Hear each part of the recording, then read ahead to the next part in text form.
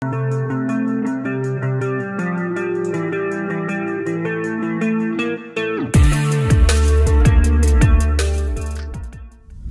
maternity hospital is full of miracles, but one day an amazing thing happened. I began my story with these words.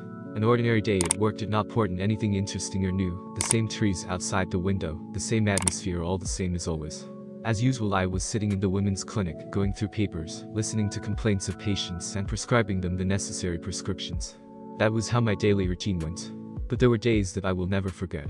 One day I was spending my day as usual, but suddenly I heard the cries of a pregnant woman. I immediately remembered her voice, she had recently been to my appointment, getting registered. Yes, not an easy case, two scars after cesarean section, she was pale, not particularly good health.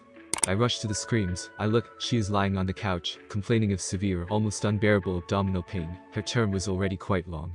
I immediately began to examine her, to be honest, it was unclear whether she had a problem or something with the baby. I asked to measure her blood pressure, it was 160, very low, said one of the nurses. I understood from her story that they were going to visit relatives, but on the way back in the car she became very sick. She barely made it to the hospital, now she couldn't stand it anymore. Hoping that nothing had happened to the baby, I began urgent preparations for surgery.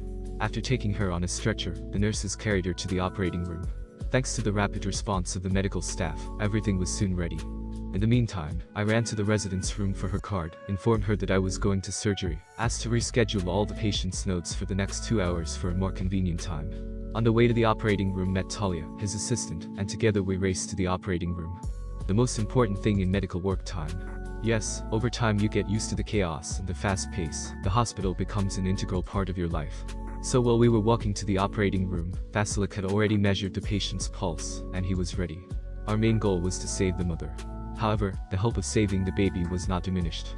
Yes, this operation was one of the hard ones. My eyes were afraid, and had it not been for Talia's support, I would not have made it. As they say, eyes are afraid, but hands do the work. After doing the hard work, we took a pure, innocent and breathless child into our arms. My eyes were full of tears, my mind was filled with only one phrase. I wish she had lived, oh God, let's have a miracle.